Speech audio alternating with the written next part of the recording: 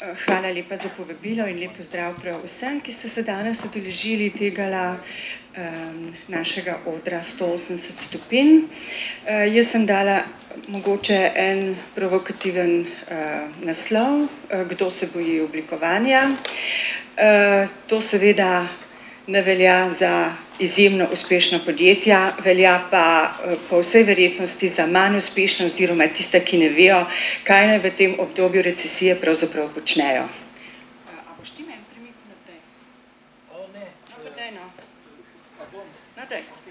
Super.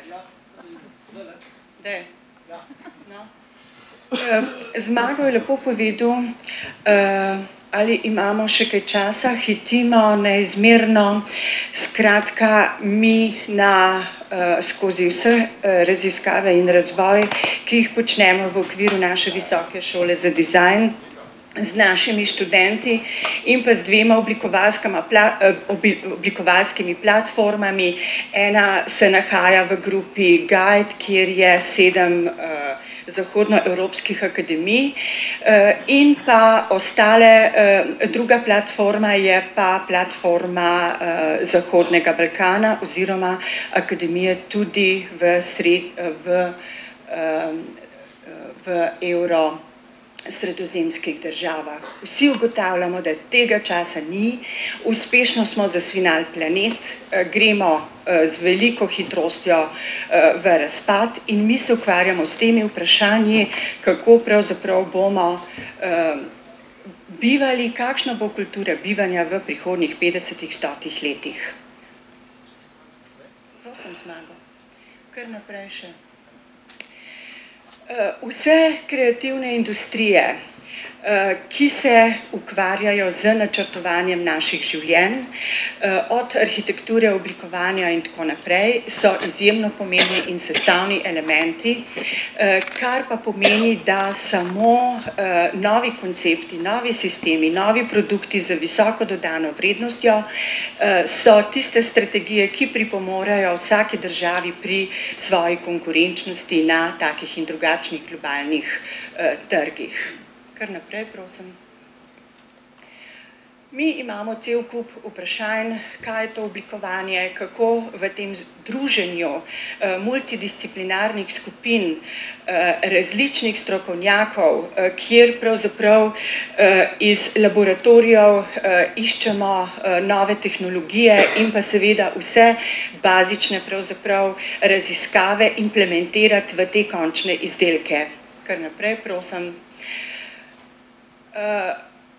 V tem eh, obdobju eh, strašnih gospodarskih recesij, političnih, gospodarskih, socialnih in drugih problemov, eh, seveda smo tukaj zato, da se ustavimo, da si človeka pravzaprav postavimo pred seboj in da probamo eh, z vsemi znanjem, ki ga premoremo, z vsemi surovinami, ki so nam na razpolago, pravzaprav ustvariti novo kulturo bivanja. Kar naprej prosim, zlasti v Sloveniji, ko Slovenijo pokriva gost, eh, skoraj 70%, eh, se borimo za to, da bi ta gost oplemenitili z novimi izdelki in zlasti na področju kulture bivanja naredili tisto, kar se pravzaprav največ da. Kar naprej prosim, vsa vprašanja, ki si jih mi zastavljamo z našimi kolegi v tem globalnem svetu, so uh, vprašanja, ki so odgovor na te naše uh, situacije, v kateri trenutno živimo. Vendar naša bodočnost je seveda v reševanju problemov in pa seveda v reševanju uh, vseh uh, stvari, ki nam pridejo nasproti in prav gotovo lahko uh, se vsak dan sprašujemo, kako mi arhitekti oziroma oblikovalci odločno lahko vplivamo v boju proti tem podnebnim spremembam. Kar naprej, prosim. Kar naprej. Skratka, v, uh, v tem eh, prostoru, v katerem živimo, želimo seveda eh, maksimalno narediti in se ukvarjati z trajnostnim oblikovanjem v povezavi z industrijo, po drugi strani pa seveda tudi iščemo nove koncepte, predvsem za razvoj tistih dobrin, ki jih Slovenija in naravnih virov, ki jih Slovenija ima, s tem pa seveda tudi v posegamo v različne industrije. Kar naprej, prosim. Pri tem zavedanju, kako bomo delali nove produkte s čim manjšo porabo energije, da bodo čim bolj mobilni, da bodo čim bolj fleksibilni, da bodo pravzaprav trajnostni, pa seveda ne smemo pozabljati na socialno noto, ki je prisotna vsak dan in vedno bolj. Kar naprej, prosim.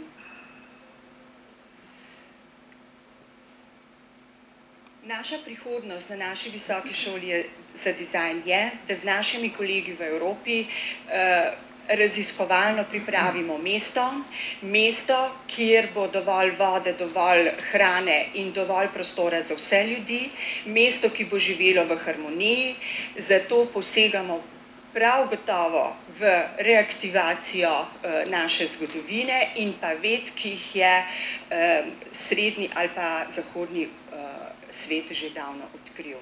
Kar naprej, prosim. No, ta vprašanja, ki se, s katerimi se seveda res ukvarjamo, je to naša kultura bivanja v našem prihodnjem v prihodnjih desetletjih.